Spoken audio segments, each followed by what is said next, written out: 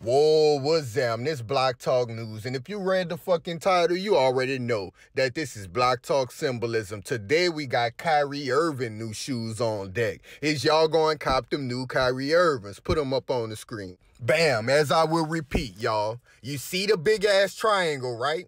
You know what the fuck it stand for, right? You see the eye. I ain't gonna keep explaining what they mean in this, that, and the third. Y'all should know where this pyramid at. Y'all should know how this eye is, you dig? But the reason I keep making the video so y'all can understand, everybody is involved. Not just these dumbass basketball players either. Not just the black celebrities. Not just the politicians. This shit go deep. This shit deeper than Nino Brown, God damn it. The Catholic Church and every fucking thing. And even on the fucking bottom of the shoe shoes he representing. Y'all see the eye on the bottom of the motherfucker right there? You dig it? On the corner right here?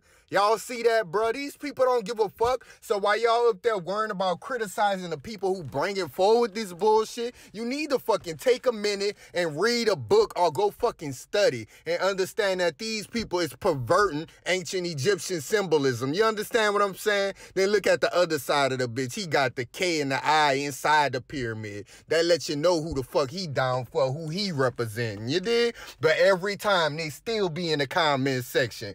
Crazy ass bruh, bruh, you're reaching. That's just a pyramid. What is this then? Like, what is this then? My bad. What is this then? Is that not a fucking eye inside there, y'all?